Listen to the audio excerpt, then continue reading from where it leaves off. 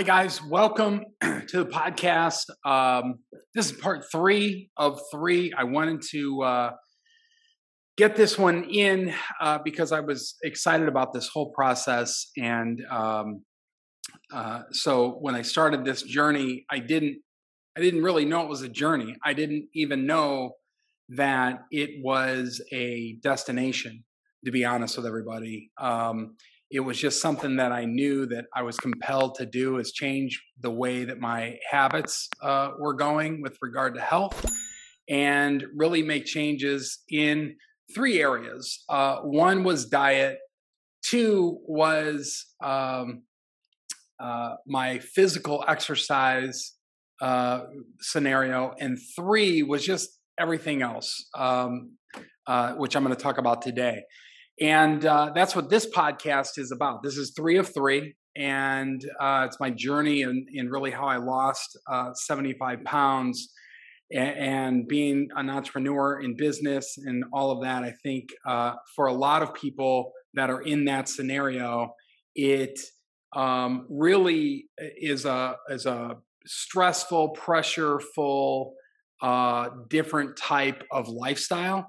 And I think for a lot of people, um, it's one that uh, you know it, their health can deteriorate uh, pretty darn quickly. Uh, I can't believe I'm using the word darn, but I'm using it. So the first uh, podcast of this series was about my diet and how I changed that. The second one was about what I was doing uh, physically and this one is about everything else. Um, you know when you when you take on a task like this and you go down this journey i think the idea of of uh, putting um, your health first and understanding the idea of how that affects you in all areas of your life from how you eat to um, uh, what you uh, uh, do for exercise and physical activity. How you do it is another big important thing. And then finally, other. What do I mean by this other? By the way, all these things I'm going to be talking about in this particular podcast. If you're watching this on YouTube, I know you're, you could be on Spotify or Apple Podcast, Google Podcast. But if you're watching this on YouTube, I will put all the links uh, in the chat so you can see that. Um, so make sure you check that out and comment and let me know what you think of the three of three, but really all three of these podcasts to give you some insight into this. Um, so the, the other the other thing that I think is important to realize is you can't do this on your own. So, uh, so uh, thankful that I have a family that supports me with this. Heather, my wife, and Avi, my son, and really even everybody else, Jordan and Peyton, and and everybody through this process. And I wanted to mention that first in this podcast because I think um, you know no man is is an island. Um, no person when they're trying to accomplish something can do it on their own. I guess they could, but it's harder. It's a lot harder. So I want to really thank them uh, for this so far where I'm at. I'm not done. I'm not at a destination. I just want to put that out there. So, the other thing that is interesting with uh, regard to um, this is not only my family has been quite supportive, but I've attracted in my life these um, mentors, if you will. Uh, and the, these mentors are really people that I add to um, the uh, my repertoire every day of who I listen to, who I surround myself with, uh, what kind of motivation I get. And so I listed a bunch of mentors that I'm going to get to here in a moment. So uh, I'm going to back up a little bit and talk about the other. Uh, so again, the first uh, podcast in this series was about my my diet. The second one was about my physical workout scenario, and uh, this third one is the other. What does the other mean? The other means that um, I've been focusing on other areas of my life for the health purposes of it. The main one, sleep. I've always been a sleeper. I've always been somebody that loves sleep. Uh, you know, from when my mother would tell me as a young kid, you know, I love sleep so much that you know, I just I didn't want to wake up for school. A lot of kids are like that, but I really didn't want to wake up. Not because I didn't want to go to school. I wanted to go to school, but I, I just wanted to sleep. I really, really love sleep. So um, for Christmas this year, uh, Heather got me this. Um, it, for those of you on YouTube, you can see this this Oura ring, and the Oura ring is interesting because of the idea behind um, uh, what Oura does. Uh, so I'll, I'll, put the link to that in the chat below for those of you on YouTube. On everybody else, you can look it up. O U R A ring, and this really does a lot for your health. But one of the main things it does is it tracks your sleep. And it tracks it in a way that shows you not only how much sleep you're getting, but the quality of sleep that you're getting. And as I started on this journey, I realized how important it is to have a really good quality sleep uh, to go along with a diet and, and exercise. The idea that um, uh, someone can do all of this without getting the right sleep, I think is complete and utter nonsense. Uh, I meet a lot of people when I travel. I meet a lot of people when I'm on the road that uh, tell me, oh, you know, I only get two or three, four hours of sleep. I- I'm here to tell you that's BS. And I'm also here to tell you that that person could probably perform better if they had the right amount of sleep. If they didn't have, um, and they almost brag about that, right? They almost brag about the fact that, hey, I don't even need sleep. That's BS. Studies and studies and studies have shown how important sleep is. So when you hear somebody say that, I know you guys have heard somebody say that. It might even be you saying that. Really think about what you're saying and look into the science of this and, and really kind of understand how sleep is important to you. Uh, this Oura ring is is really helped me with that, and that's one of my others. That's one of the things like I, I wouldn't want to be without, and really kind of making sure I get that eight hours of sleep per night uh, sometimes more, sometimes less, but I really try to focus on that eight hours per night. Um, the other one that I think has been uh, uh, important for me, and Heather's going to laugh at this a little bit, has been this uh, the Apple Watch. Um, the Apple Watch. I'm an Apple guy, you know, not a PC guy. A lot of people are PC guys. A lot of people are Apple guys. Uh, but the Apple Watch has been really, really important to me because uh, of what it does. It communicates uh, several things. It communicates with my Oura Ring, um, with the sleep scenario. It also communicates on my workouts. I use something called Map My Run. Uh, but but I also use it for other things, you know, on the fly with emails and texts and uh, even phone calls. I, I even use this as a phone. Not a lot, and I got to tell you, I feel cool while I'm doing it I feel like I'm I'm not a Star Trek guy. I'm a Star Wars person. Not a Star Trek person, but a Star Wars person. But the one thing that I did think was cool on Star Trek was when they talked in their wrist, and that's kind of how I feel with when I'm on the phone with my uh, iWatch. Um, so I, I, really think that those have been a, big thing. Again, Heather has been, I'm going to uh, single her out. She's been my number one supporter with this and and really does way above and beyond doesn't need to do this but above and beyond what all of this uh, has done for me. Like she what she's done has been unbelievable with diet and just timing and and other things as well. So shout out to you heather. I love you very much.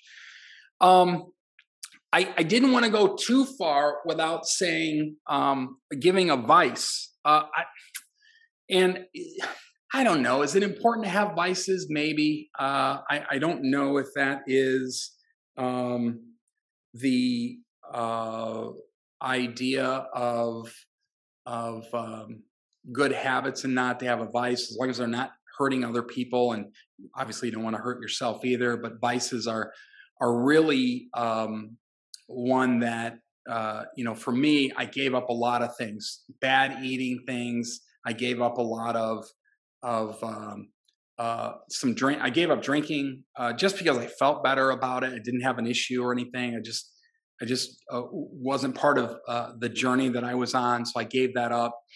And so uh, I do smoke a cigar periodically.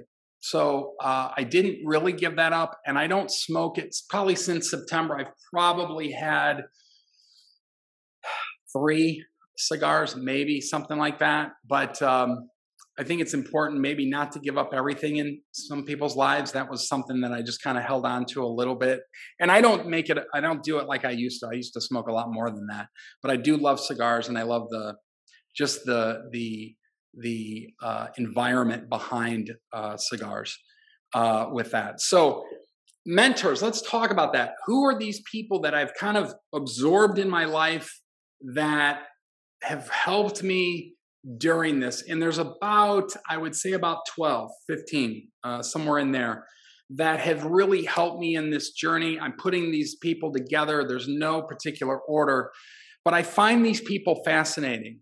And uh, I travel and I speak and I do a lot of of um, of uh, uh, public speaking about the importance of surrounding yourself with good quality people and good sound people.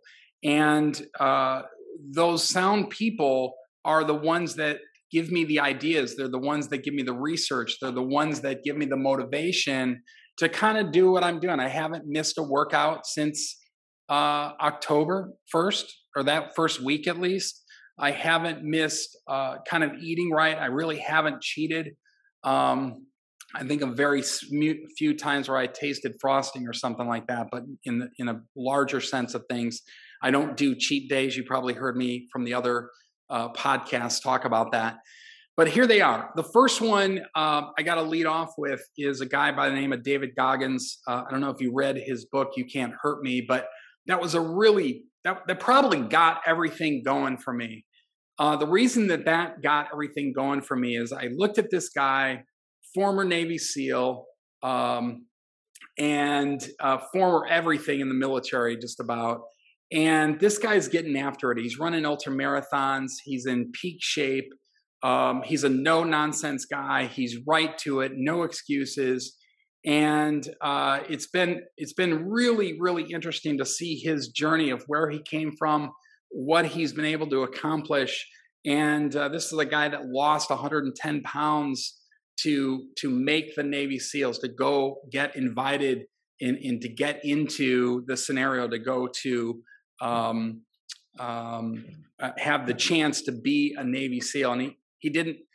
Uh, well, I'll, I'll, leave the story for those of you that didn't read the book. Um, but uh, you can't hurt me is the name of the book. But man, it's really, really, really cool. Uh, his storyline. That's probably who got me going. His grit, determination, and really the understanding of finishing a goal. At first, I didn't even know I was on a goal. I just wanted to change what I was doing.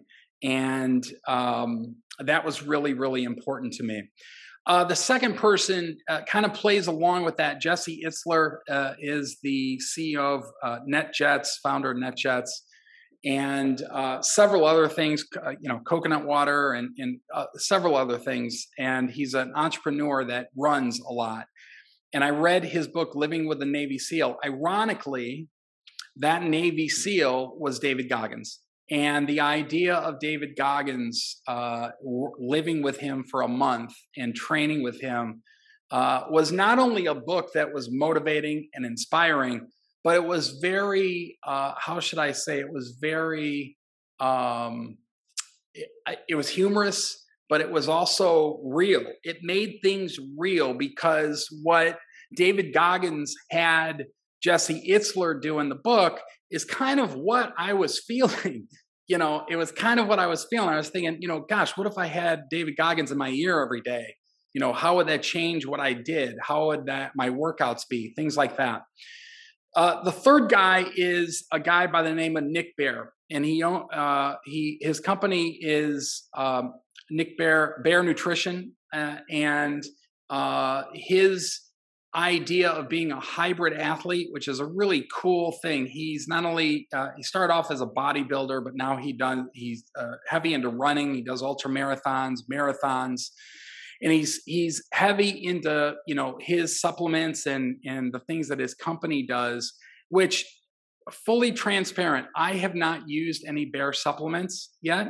Uh, I follow him on YouTube and Facebook uh, I have not used his supplements yet because I, I don't use a lot of supplements and I probably should, but I felt like I wanted to get to the point where I had my diet consistent enough where I understood what was good and what was bad, what was fuel, what wasn't. And then now I'm at the point where I am ready to slowly add supplements for performance and, and other things. I feel that I'm at that point. Uh, I just didn't want to add dietary pressures by adding supplements and things that didn't agree with me or things that I didn't think I needed, but I see other people doing. I just wanted to get a good zero grounding of that. I think I'm there. So uh, certainly Bare Nutrition, from what I know that Nick Bare and his company puts in the the products that he sells, uh, th- that would be the one that I would I would look at for sure. Um, so Nick Bare, look him up. I, again, I'll put all these guys in the chat if you're watching on YouTube. But uh, great guy, really good insight on his um, his YouTube channel. And by the way, David Goggins, if you follow him on Instagram, he does these little snippets that are that are motivating. And um, he he says at the end of every minute snippet or so of motivation while he's running, typically or working out, he says, "Stay hard." and and that's just kind of a, a shout out to you know no excuses go right at it give it 150% you know kind of thing. The next one is a guy by name of thomas delauer. I don't know if you know this guy. He's a youtuber. He's on youtube. He's a fitness specialist. This guy is a fit fit athlete. All these guys are fit. David jesse nick uh, and thomas. But he's a really fit athlete and i believe he's a nutritionist as well. He really breaks down the science of the chemistry in your body and how what you put in your body affects that. And uh, he's a really good person to follow. Again, you become the five or six people that you associate yourself with and you surround yourself with. So this was definitely uh, a person that I added to that mix. Um, Tom DeLauer is is a guy that I don't think he does, although he can run, and I've seen him run on some of the videos. Uh, but he's more fitness and staying completely fit and working out. Uh, does a really really good job of that. Thomas DeLauer, you should look him up. Um, another one is uh, a guy by the name of uh, Paul Revelia, another fitness guy that I watch on YouTube. Um, he's a very interesting guy because he uh, is a runner as well, and he a, bodybuilder as well, uh, kind of one of these hybrid athletes. Uh, but he does more bodybuilding, and he does talks about fitness. But what I like about uh, Paul Revelia is he does a lot of things at home with his home gym. And I got to tell you, over my last um, uh, seven, eight months, nine months now, um, my home gym through the wintertime has got me through a lot of places and got me through a lot of things and, and understanding the idea of of how um, I was able to get my exercise in, get my diet in, and and really make sure that uh, I was on point with all that. So uh, I followed that guy to a T, uh, Paul Revelia. Uh, you can look him up. He's got a YouTube channel, and that's really where I follow him. I don't follow him too in too many other places. Here's another big one for me. Um, science has always been an important part of everything that I do. I have a biology degree as one of my degrees, and um, I love the idea of science in business. I love the idea of science in working out. I love the idea of science in really just about everything that a person can do because it, it makes up a lot of that stuff, right? So, uh, this guy, Dr. Peter Attia, is very, very well versed. He started out as a cardiac surgeon. He's got a YouTube channel. I'll, I'll put um, his uh, uh, links down below again if you're on YouTube. If you're not, you can look him up, Peter Attia. And he's a he's a uh, Formula One racer. He's a uh, he was a bicyclist uh, on the circuit. He talks a lot about where I get this zone two and zone five training for. And the interesting mix that Peter Attia puts in this, Dr. Peter Attia puts in this, is the fact that he was a cardiac surgeon and he uh, understands cardiovascular fitness and mitochondrial uh, performance in cells for energy. Now, I know I'm bringing out a little bit of the biology here, and and uh, hopefully that's okay. But uh, mitochondrial uh, performance is the energy powerhouse of the cell.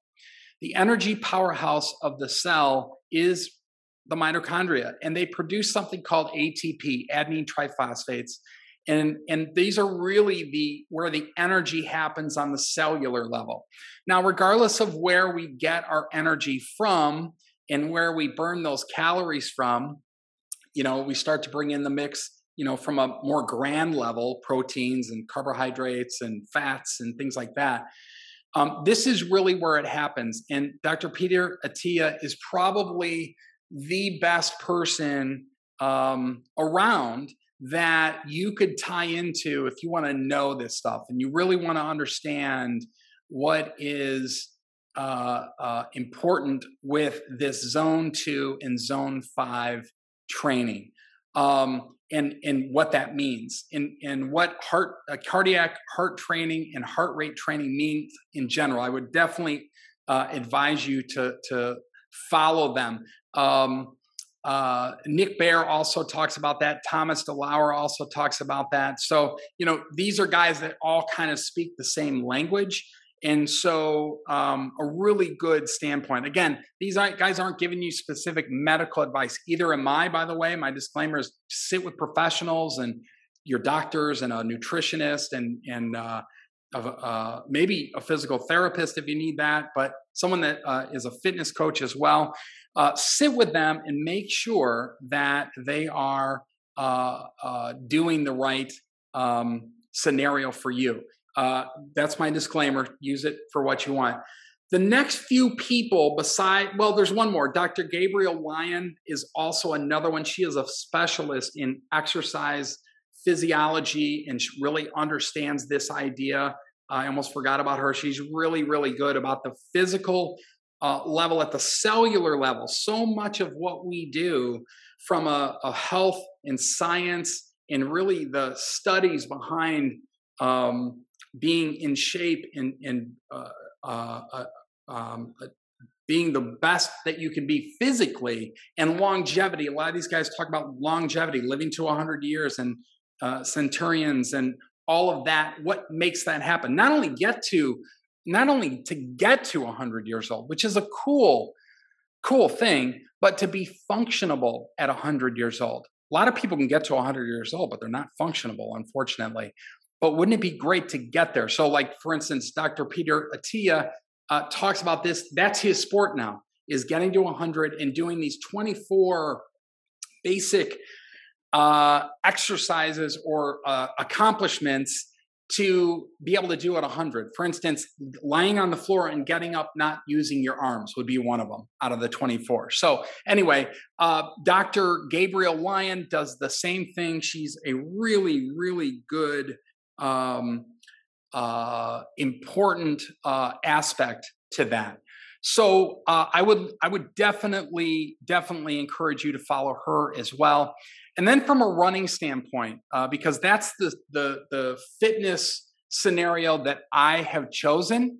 Um, and, you know, run, whether it's running or biking, um, and putting myself in a, a better shape by doing that. I started off walking, by the way. I think I mentioned that in my my second series uh, podcast.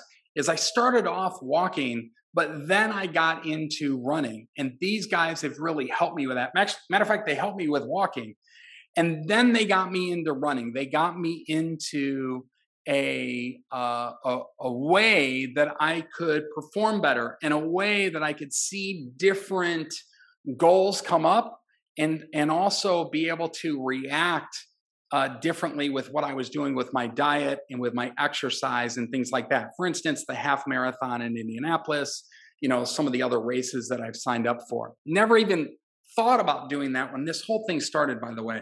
It was just focusing on my health a little bit better. And and um, this turned into where it is today. And I'm loving the journey. Again, I don't care about the destination, but I am loving the journey. And I feel like that has been such a key with uh, with what I've been doing is uh, is understanding that whole scenario uh, of of really falling in love with the journey. The workouts, I love it. The eating right, I love it. I haven't missed a thing. Um, so anyway, uh, but these guys have really helped me with that. A guy by the name of Mark Lewis and a, another guy by the name of Coach Parry. I forget Coach Parry's first name, but these guys, um, there's a lot of good runners from England. And these guys uh, run there and they are um, uh, trainers, if you will. They have YouTube channels, and I would definitely encourage you guys, if you're in the walking or running circuit, to go there. I guess um, I guess Mark Lewis does some biking as well. So if you're into biking, he may be another source for you. But they make things um, uh, they make things very fluid in the information they deliver. They also make things very um, informative at a level that everybody can understand and also at a level that you can integrate into your workout routine pretty easily. And uh, I, I also think that running or biking, weightlifting, any of these things, especially as you get older, um, can become a little bit intimidating. And these guys are part of your team. They make it so that um, they are uh, uh, part of your group that you're hanging out with. And I think that's really, really important for you to uh, surround yourself with that. So again, uh, Mark Lewis, Coach Parry. Uh, again, I forget Coach Parry's name, uh, first name, but Coach Parry running. If you if you type that up, he can uh, P A R R Y. He can um, de- you'll definitely see what they do. And they're, they they have their own. I know Coach Parry does have their own running program. I'm not a part of that, but I, I really appreciate the content they put out. Um, Dr. Eric Berg is a uh, chiropractor. Um, chiropractic, although I don't use it a lot, I do believe in the science. Um, I have had some back issues uh, historically, uh, being an athlete and being uh, in, um, you know, uh, uh, as an entrepreneur and sitting a lot. I should be standing more. The standing desks are fantastic. I'm not at one now, but I will be. Um, are really, really good, but Dr. Berg does a lot of things with not just chiropractic. Matter of fact, I think more of his content is seems to be a non-chiropractic world than the chiropractic uh, world. But he has been a, a big help with that and um, a couple of other guys, uh, Dr. Uh, David Sinclair. David Sinclair has written a book that I have not read yet. It's called The Youth Molecule. And he talks about the idea of fasting and the science behind it. Him and a guy by the name of uh, Mark Sisson. And uh, David Sinclair, rather, is really a leader in this field. Um, I read the book the future is faster than you think. And they talked about this guy, David Sinclair, and what he's working on in this molecule that uh, maybe at some point will be given as a supplement is really the youth molecule. I think it's really the fountain of youth that uh, Ponce de Leon maybe have searched for in, in what, the 1500s, 1400s? Uh, but this is it in a molecule. Could we take this as a supplement? Really, really cool stuff. His work has been on longevity, along with Peter Attia. These guys are fantastic. And I've just been listening to different things, you know, what to eat, why to eat, why, you know, sugar, why it's the enemy, what it does to cells, inflammation in the body, what it does to the body, and why that's bad. Um, you know, sleep and the health benefits of sleep um, you know the the other idea of uh, uh, of this being a holistic process diet workout and this other that this podcast is about has been really really important so again I want to uh, just kind of focus on uh, uh, continuing my journey on this. I was so excited to bring this to you guys and, and let you know in this three series uh, podcast of what I've been doing. I don't talk a lot about this on social media. I talk about it here because this is kind of my outlet for that. But um, uh, if you have any questions on anything that I've been doing or who I can direct you to to help you with that, please let me know. You can always reach out to me uh, by email through any of the sites, uh, uh, or any of the other sites as well.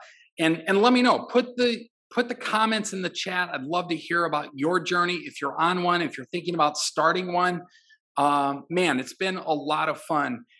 And and one couple final things is it's really taken my my focus off of stuff that I didn't need to focus on.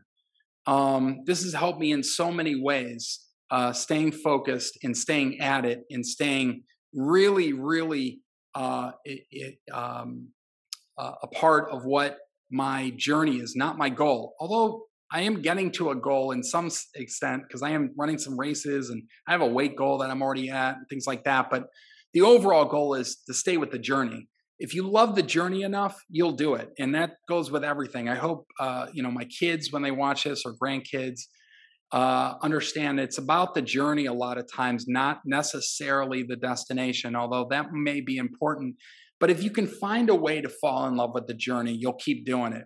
Uh, Atomic Habits um, in that book was a big.